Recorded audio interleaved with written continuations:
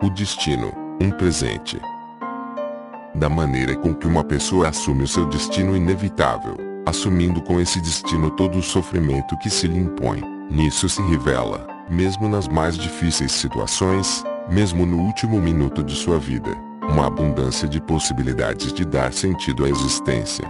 Depende se a pessoa permanece corajosa e valorosa, digna e desinteressada, ou se na luta levada ao extremo pela autopreservação ela esquece sua humanidade e acaba tornando-se por completo aquele animal gregário, conforme nos sugeriu a psicologia do prisioneiro do campo de concentração.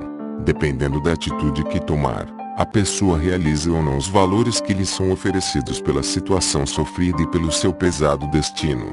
Ela então será digna do tormento, ou não. Ninguém pense que essas reflexões estejam distantes da realidade da vida e do mundo. Sem dúvida, poucas e raras são as pessoas capazes e à altura dessa elevada proposta pois poucos foram os que no campo de concentração mantiveram a sua plena liberdade interior e puderam alçar-se à realização daqueles valores possibilitada pelo sofrimento. E mesmo que tivesse sido um único apenas, ele bastaria como testemunho para o fato de que a pessoa interiormente pode ser mais forte que seu destino exterior. E isto não somente no campo de concentração, Sempre em toda parte a pessoa está colocada diante da decisão de transformar a sua situação de mero sofrimento numa produção interior de valores. Tomemos o caso dos doentes, particularmente os incuráveis. Li certa vez a carta de um paciente relativamente jovem comunicando ao seu amigo que acabara de ficar sabendo que sua vida não duraria muito mais e que mesmo uma operação não o salvaria mas escrevi ainda nesta carta que justamente agora se lembrava de um filme no qual um homem encarava sua morte com disposição, dignidade e coragem. Naquela ocasião, quando assistiu o filme, este nosso paciente pensara que só pode ser um presente do céu caminhar em direção à morte com essa atitude, de cabeça erguida, e agora, escrevia ele, seu destino lhe dera essa chance. Anos atrás vimos outro filme, Ressurreição baseado num romance de Tolstói, que então não pensou a mesma coisa. Que destinos grandiosos, quão grandes personalidades. Nós de certo não teremos um destino tão glorioso e por isso jamais poderemos alcançar semelhante grandeza humana. Ponto terminada a sessão de cinema, íamos tomar um café, comer um sanduíche e acabávamos com essas estranhas ideias metafísicas que por um momento haviam cruzado nosso pensamento.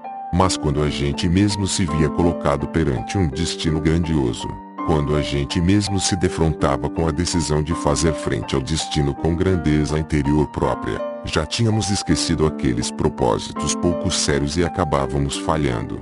Ponto. Para este ou aquele, entretanto, talvez tenha chegado o dia em que estava novamente sentado no cinema assistindo ao mesmo filme, ou a um filme semelhante enquanto que interiormente o seu olhar imaginativo assistia simultaneamente ao filme de lembrança, de lembrança daquelas que jamais realizaram em sua vida tudo isso, e mais ainda do que pode mostrar uma produção cinematográfica de cunho sentimental.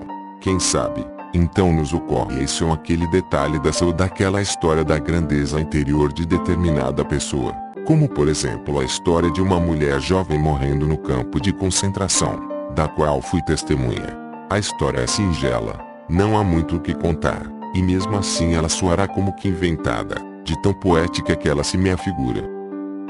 Essa jovem mulher sabia que teria que morrer nos próximos dias. Quando falei com ela, ainda assim estava bem disposta. Sou grata a meu destino por ser assim tão duro comigo, foi o que ela me disse textualmente pois em minha vida burguesa anterior eu estive mal acomodado demais e minhas ambições espirituais não eram lá muito sérias. Em seus últimos dias ela estava completamente ensimesmada. Essa árvore ali é a única amiga em minhas solidões, disse-me ela apontando pela janela do barracão.